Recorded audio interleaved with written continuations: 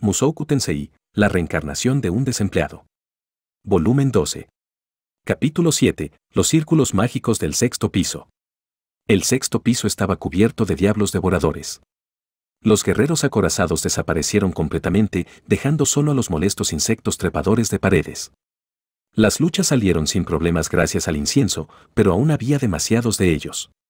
De hecho, tantos que tenías que preguntarte, ¿por qué hay tantas de estas cosas aquí? La razón se volvió clara mientras avanzábamos hacia las partes más profundas del sexto piso.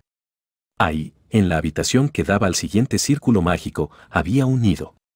Una horda de las bestias se reunía dentro, e innumerables huevos yacían en los bordes del área.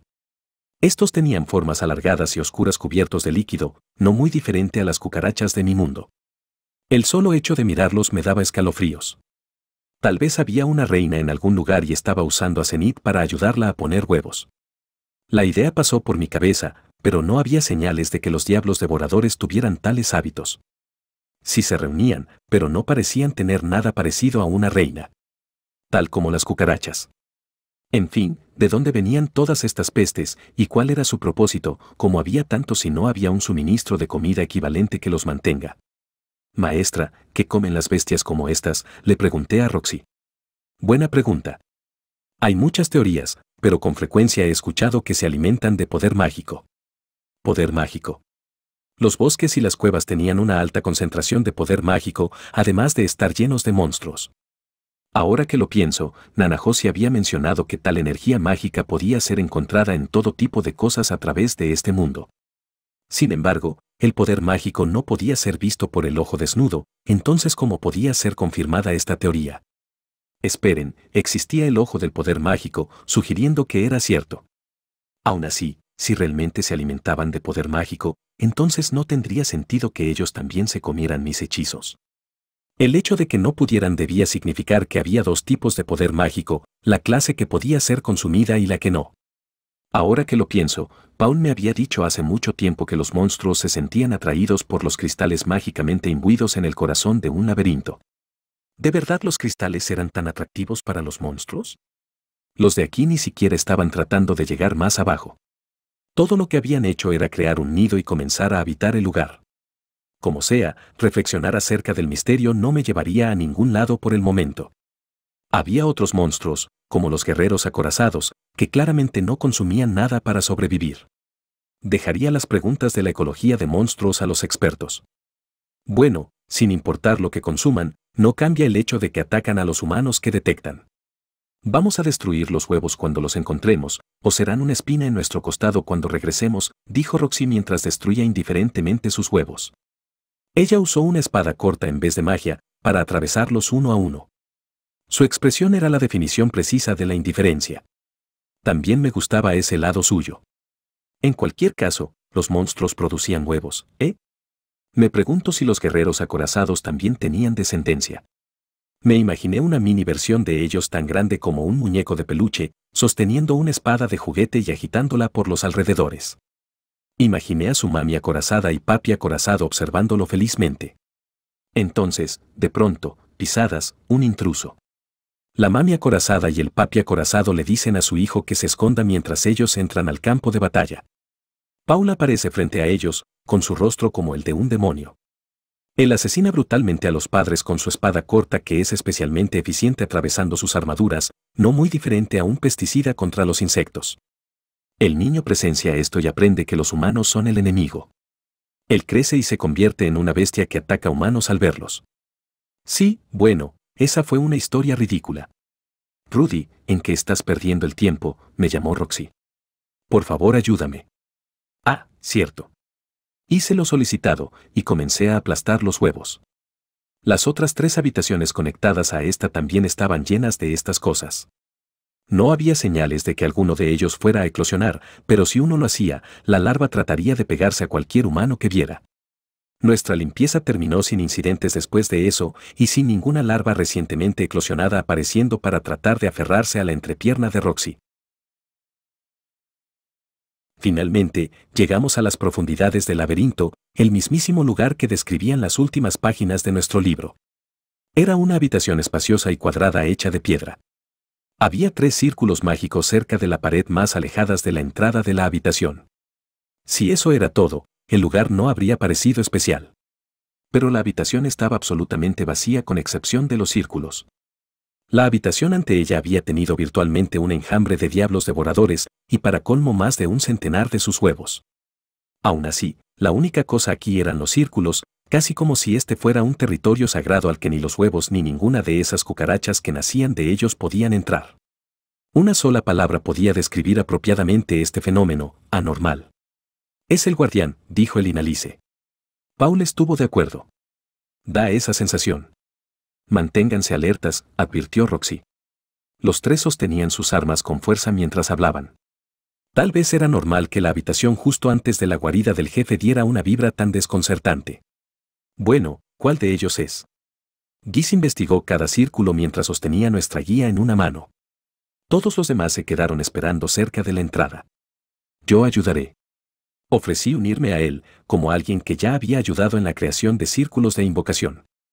Sí, eso sería genial, dijo Giz. Por alguna razón Roxy me siguió de cerca. Su presencia al menos sería reconfortante. ¿Cómo se ve? pregunté. Tal como dice el libro. Revisé uno a uno los círculos ante nosotros, comparándolos con lo escrito en el libro. El libro, por cierto, decía lo siguiente. Había tres círculos mágicos. Nosotros supimos inmediatamente que dos de ellos eran círculos de teletransportación al azar, así que usamos una piedra para marcar el que pensamos era el correcto y salté en él. Sin embargo, fue una trampa. Fui teletransportado a un espacio desconocido, terminando atrapado estrechamente entre cuerpos negros y viscosos. Así es, un nido de diablos devoradores. En el momento que me vieron.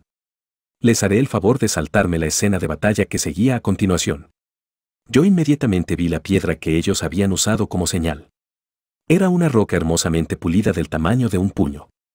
El número 6 estaba tallado en su superficie. No habíamos visto nada parecido en los pisos anteriores. Te hace sentir un poco emocional verla, ¿no? Giz frunció el ceño. ¿Tú crees? Dicen que es de mala suerte. Escucha, jefe, las cosas como esta, objetos dejados atrás por un grupo muerto, son de mala suerte. ¿De mala suerte? Sí, así es. De mala suerte.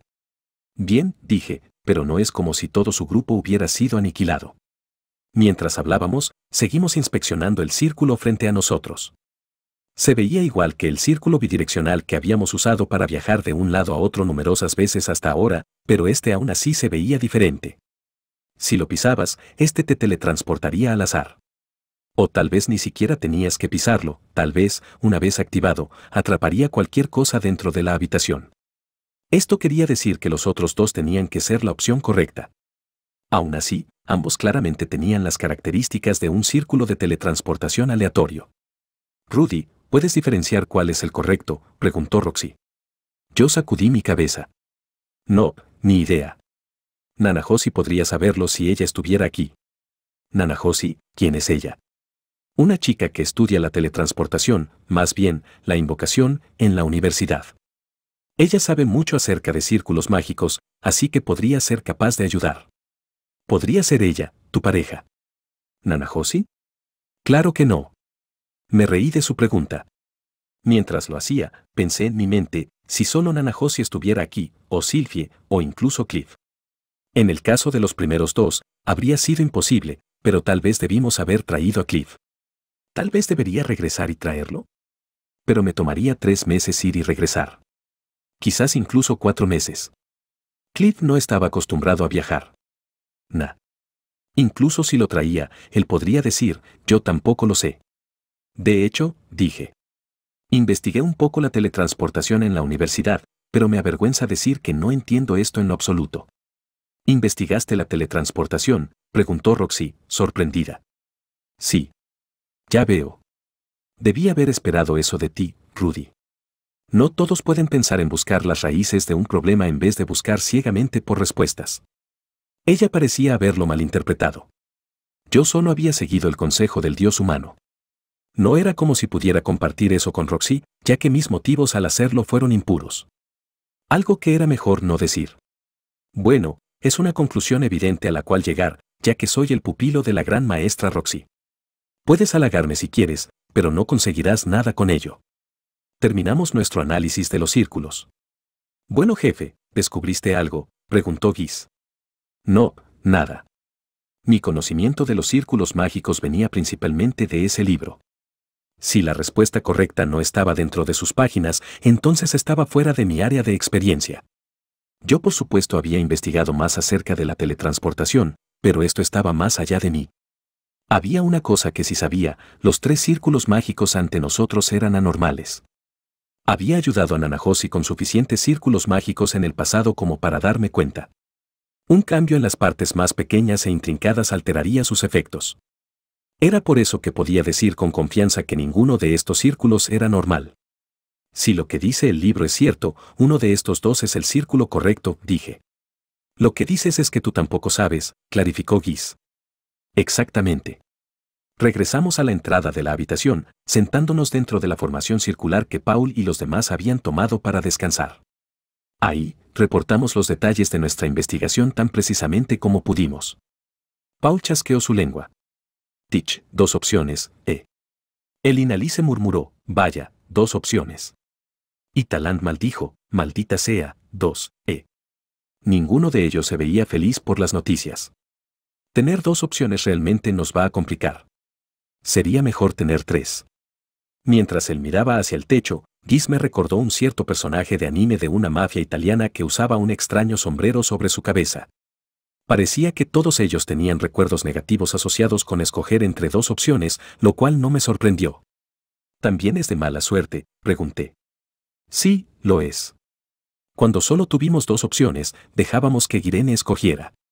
Oh, sin importar lo que hiciéramos, terminaría en fracaso, explicó Giz. Paul y los demás asintieron de acuerdo. Girene, ¿eh? Ese nombre me traía recuerdos.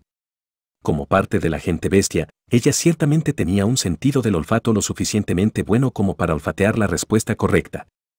Girene. Si solo ella estuviera aquí ahora mismo, dijo tristemente Paul. El Inalicia sintió, ella solo era útil en momentos como este. Ella nunca escucha las instrucciones durante la batalla y arremete de cabeza, casi como si no entendiera el lenguaje humano. Ella no podía leer, escribir o hacer operaciones matemáticas y se enojaría cada vez que hablabas de algo que ella no entendía. Pero al menos cuando teníamos solo dos opciones, ella por alguna extraña razón era capaz de elegir la correcta, dijo Talant. Vaya, sí que estaban diciendo cosas crueles de ella. Pobre Girene. Esperaba que no siguieran con eso. Después de todo, ella era una de las profesoras que respetaba. Por favor dejen eso, supliqué. Ella ahora puede leer, escribir y hacer operaciones matemáticas. Girene se había esforzado mucho. Ella todavía se equivocaba con multiplicaciones con más de un número, pero se había esforzado al máximo para aprender a dividir. Humph, ya había escuchado eso de Paul, pero no seré engañado, dijo el enano. No hay forma de que esa cachorra pueda funcionar como una persona normal. Escuché lo mismo, pero para ser honesta, tampoco puedo creerlo, estuvo de acuerdo el Inalice.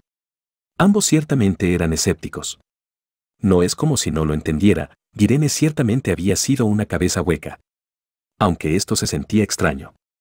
Todos los antiguos miembros del grupo de Paul estaban reunidos aquí, con excepción de Girene. La misma mujer que había sido la única del grupo en mantener contacto con Paul después de su separación. La única que conocía la aldea buena de todos los reunidos aquí. Sí, en efecto, muy extraño. Olviden eso, ¿qué vamos a hacer? Preguntó Guis, regresando al tema de conversación original. Había dos círculos. ¿Cuál íbamos a usar? Rudy, ni siquiera tú fuiste capaz de descubrirlo, ¿eh? preguntó Paul. Sacudí mi cabeza. Desafortunadamente, no. Incluso estudié estos en la universidad antes de venir. Siento no poder ser de más ayuda. Entonces así son las cosas, Paul cruzó sus brazos sobre su pecho, cerró sus ojos, comenzó a pensar. Después de ni siquiera un minuto, él levantó su cabeza. Solo hagámoslo por mayoría de votos y veamos dónde nos deja eso. Aquellos a favor de tomar el círculo de la derecha, levanten su mano derecha. Aquellos en favor del de la izquierda, levanten su mano izquierda. Cada persona levantó su mano a su orden. Paul, el Inalice y Roxy votaron por ir a la derecha, mientras Guis, Talant y yo votamos por ir a la izquierda. Estábamos empatados. Teach, ni siquiera podemos decidirnos, escupió Paul. Un, padre, dije, tengo que decir que no estoy muy seguro de que debamos decidir algo como esto por mayoría de votos. Sí, sí, alguien más tiene alguna idea brillante. Cuando Paul preguntó, el Inalí se levantó su mano. ¿Qué tal enviar a una persona a través de cada uno de ellos al mismo tiempo? Estás proponiendo sacrificar a alguien. Ya sea tú o yo podemos quemar incienso y abrirnos paso a través de los diablos devoradores de ser necesario, dijo confiadamente ella. Una persona entraría a cada uno de los círculos al mismo tiempo y la persona que atravesara el correcto regresaría con nosotros. Después inmediatamente iríamos en busca de la otra persona y el problema, posiblemente, estaría resuelto. Me opongo a eso, dije. El Inalice dijo, sorprendida, oh, Rudeus, ¿y eso por qué? Primero, no hay garantías de que alguno de ellos sea la respuesta correcta. Por lo que parecía, ambos círculos eran teletransportadores aleatorios. Ambos podrían ser trampas, lo cual quería decir que los tres círculos eran trampas. Era posible que los círculos correctos estuvieran ubicados en una habitación diferente. Aunque eso parecía improbable, el libro decía que ellos habían buscado en cada habitación de cada piso antes de avanzar al siguiente. Si íbamos a confiar en el autor, entonces este era nuestro destino final. Pero la posición de los círculos y sus formas. Todo se sentía deliberado. Era sospechoso. Algo no estaba bien. ¿Por qué alguien siquiera crearía una trampa que tenía un 50% de probabilidad de éxito? ¿Acaso eso no arruinaría el propósito de poner una trampa en primer lugar? Además, si quien sea que había creado esto se había tomado las molestias de preparar un círculo bidireccional falso, ¿de verdad la solución era tan simple como que uno de los círculos unidireccionales sea el correcto? Si eso era todo, ¿por qué molestarse en tener tres círculos? ¿Tal vez habíamos pasado algo por alto? No, este no era un juego de escape imposible. Un laberinto no estaba obligado a dejarnos pistas. Bueno, Rudeus, entonces tienes alguna sugerencia, preguntó ella. No, admití. Pero puedo pedirles que esperen un poco más antes de tomar una decisión. Me molestaba mucho. Sentía que estaba olvidando algo. Y hasta que pudiera recordar lo que era, simplemente pisar uno de esos círculos basándonos en la suposición de que era un 50 y 50 era demasiado peligroso. En el momento que una persona lo hiciera, era posible que toda la habitación fuera teletransportada al azar.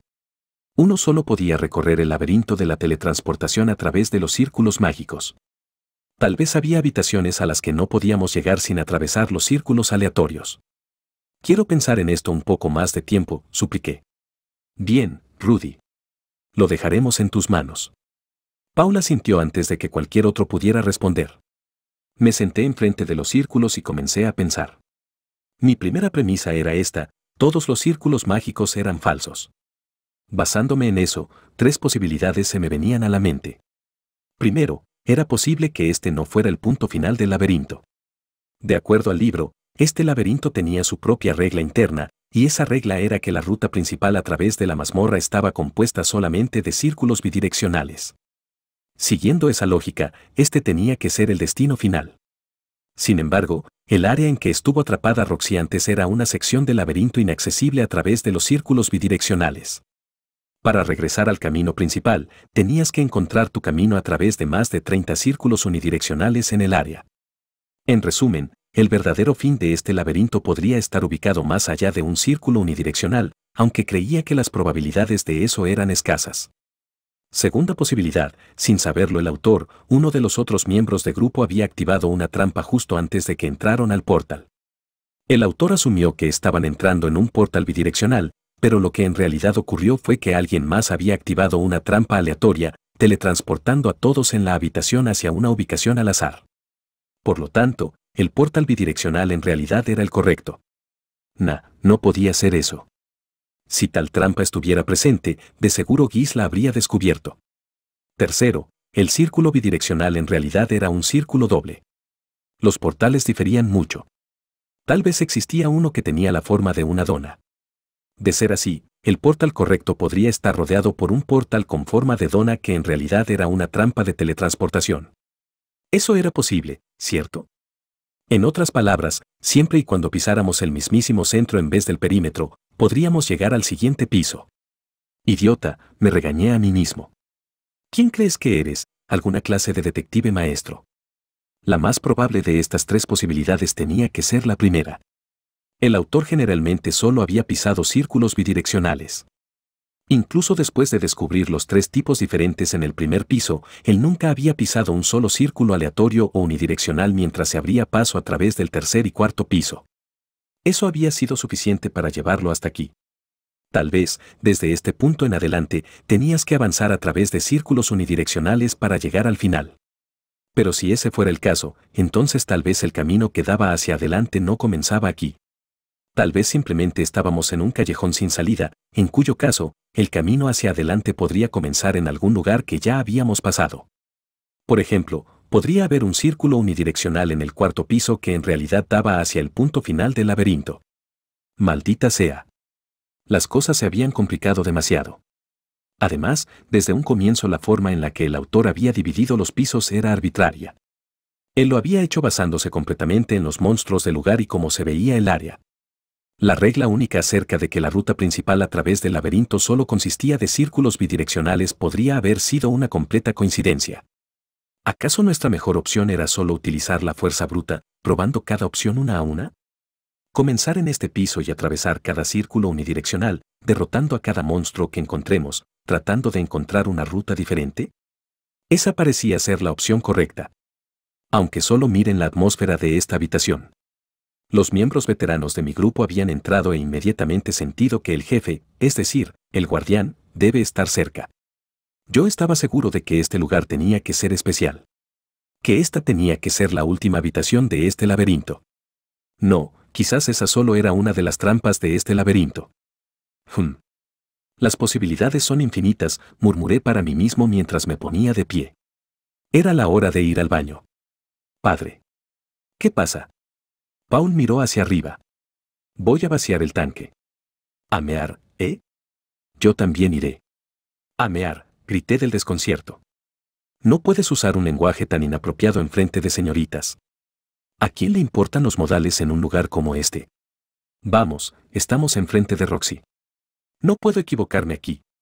Bueno, ella probablemente no pensaría mal de mí por ir al baño, pero, aún así. Paul me acompañó fuera de la habitación y de regreso al área donde estaban los cadáveres de los diablos devoradores y los huevos aplastados. Ahí, tomamos turnos para vigilar mientras el otro hacía lo suyo. Sí que estás teniendo problemas con esto, destacó Paul mientras yo vaciaba mi tanque. Sí. Se me ocurrió que tal vez este lugar no es la habitación final del piso. Que quizá hay otra ruta. Una que tenemos que tomar para llegar al jefe. Nah, no puede ser así. Él sacudió su cabeza. Esa habitación definitivamente es el lugar correcto. ¿En qué te estás basando para decir eso? En nada. En otras palabras, era intuición. Aún así, era la intuición de un veterano. No era algo que pudiera tomar a la ligera. Esta clase de intuición podría parecer una conjetura sin base, pero en realidad era una inferencia inconsciente basada en la experiencia. Bueno, no tienes que apresurarte tanto, dijo Paul. Esperaremos. Si hay algo de lo que no estás seguro o algo que quieras discutir con nosotros, siéntete libre de hacerlo. No trates de resolverlo todo por tu cuenta, bien. Entendido. Devolví a mi pequeño a mis pantalones e intercambié posiciones con Paul. Ahora que yo estaba de guardia, di un vistazo alrededor. Ah, también hay otra cosa de la que quería hablarte, Rudy. Sí, ¿de qué se trata? Hubo un breve silencio. Ah, na.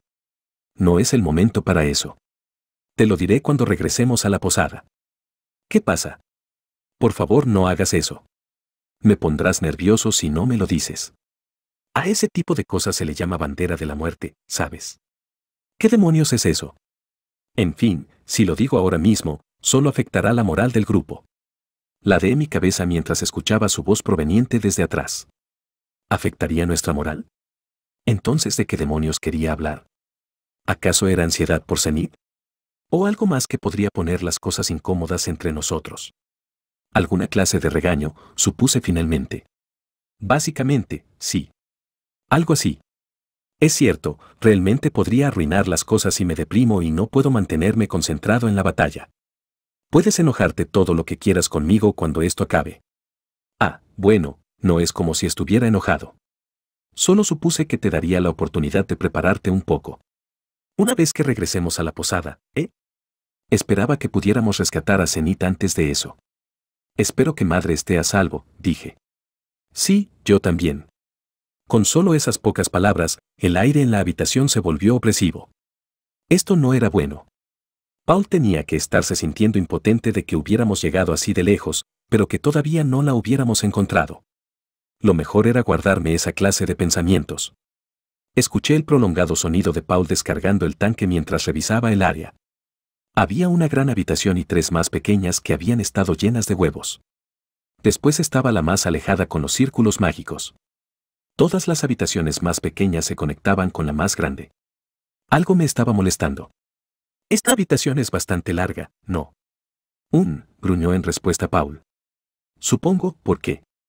Era rectangular en cuanto a su forma, aunque lo suficientemente amplia y tan llena de cadáveres que casi se veía como un cuadrado a primera vista. Una inspección más detallada revelaba que su largo sería su ancho. En realidad, era rectangular. En cada extremo de esta larga disposición había una habitación adyacente, aunque todos sus tamaños diferían. Ya había visto esto antes. Recientemente. Ah. De pronto se me ocurrió. Es cierto, esto se veía exactamente igual a las ruinas de los círculos de teletransportación que usamos para llegar aquí. Bien. Ahora regresemos. Eh, Rudy, ¿qué estás haciendo? Paul me miró con sospecha. Lo miré de reojo mientras regresaba apresuradamente hacia los otros miembros. Gis estaba sentado con su trasero pegado al suelo, no muy diferente a la estatua del gran Buda, cuando le hablé, Gis-san, ¿podrías ayudarme en algo? Un, ¿encontraste algo? Solo apresúrate y ven. Lo arrastré conmigo hacia el centro de la habitación. Por favor busca por aquí y ve si puedes encontrar alguna escalera oculta. Eh. Espera, supongo que podría ser posible. No hemos visto más que trampas de teletransportación hasta ahora, pero podría haber alguna habitación oculta o algo así. Gis, habiéndose convencido sin yo tener que hacerlo, se puso en cuatro y comenzó a revisar el suelo. Él puso su oído en el suelo, con su rostro tenso. Luego sacó su espada corta y comenzó a golpear la empuñadura contra el suelo. Oigan. Está aquí, está aquí, exclamó él. Jefe, hay una cueva aquí abajo. ¿Puedes abrirla? Dame un segundo. Gis comenzó a toquetear el suelo. Él se movió hacia la pared, con sus manos tocando la superficie mientras avanzaba. Luego él regresó a mí. No es bueno. No puedo abrirla. Probablemente es del tipo que debes abrir a la fuerza.